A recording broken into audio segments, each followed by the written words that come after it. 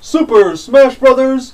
Melee for the GameCube. So, yesterday I ranted about how much I loved Super Smash Bros. for N64 and how fantastic the game is, and now I'm going to do that again with Melee because this game is just incredible. So they went, took this game, Super Smash Bros. for N64, that was already like a perfect game, and they made it better.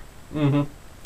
First of all, this game, again, blew my mind when this game came out. The characters, the graphics of this game were just perfect.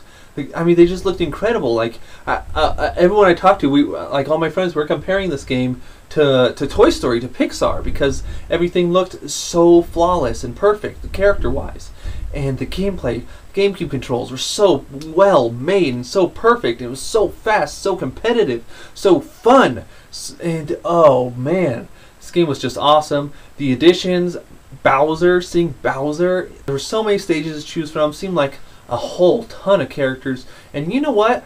Back when this, I admit, yes, I'm a Nintendo fan, but when this came out, I did not know who most of these secret characters were.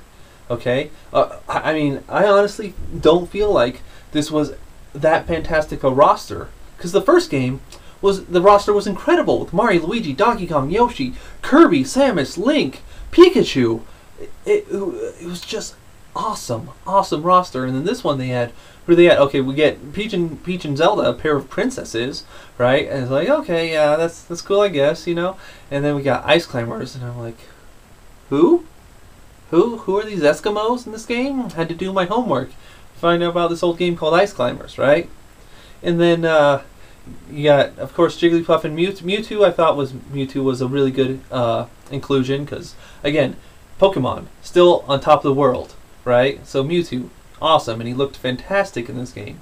But then we got uh, Mr. Game and Watch. I'm like, who is that? Gotta do some homework. Okay, so he's the guy who starred in those old Game and Watch games. Okay, like I'd only played one or two Game and Watches before, and they had Mario in them, so I, I didn't even know Mr. Game and Watch was even a thing. And then, so that was a weird addition, I thought. And then there was Pichu. Yes, I knew who Pichu was, but I also thought, out of all the Pokemon in the second generation, why Pichu?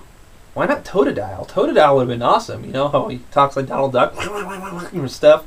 That would have been awesome. Why Pichu? He hurts himself. so yeah, that's again okay. So that's you know, uh, Ice Climbers, and Mr. Game and Watch and Pichu. So far, the, the, the these additions don't seem that great. And then playing the game, and suddenly new challenger approaching. Marth. Okay, who's Marth? I say.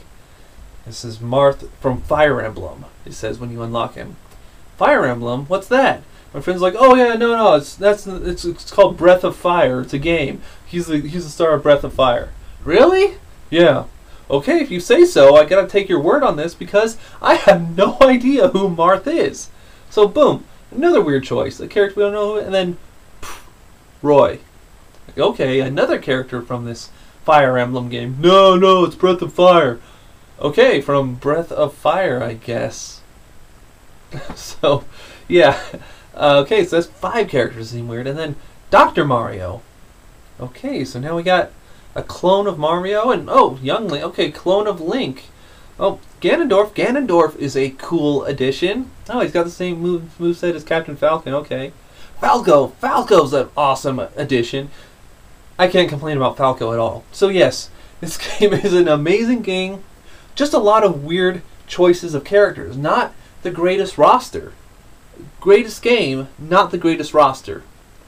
But, uh, you know, over time, because of Smash Bros. Melee, I have grown to just love Mr. Game & Watch and the Ice Climbers and all those other characters that I complain about. Even Dr. Mario. Just gotta love Dr. Mario, right? Um, I still think Dr. Mario should be a costume swap instead of a different character.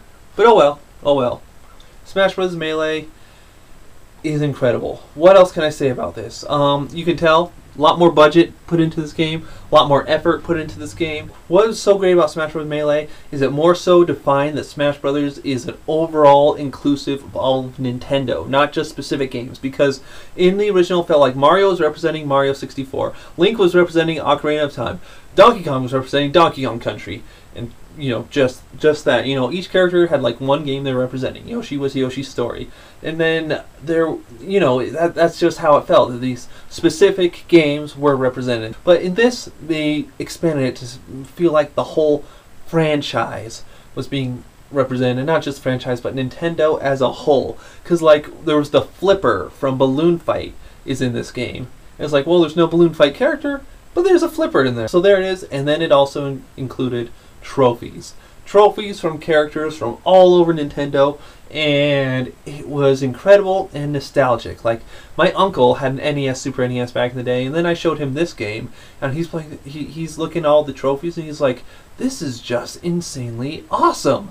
To see all these characters as 3D renders, you know, there's Kid Icarus, and and there's you know the Ice Climbers and the Balloon Fighter, and all these characters. Excite Bike is in here. The ducks from Duck Hunt, they're all there as trophies. And it was awesome, awesome, awesome, awesome for those old school gamers. Old school as in like they were already teenagers when the NES came out, like my uncle. Smash Bros. Melee, it is a game that is still played and praised by gamers all over the world.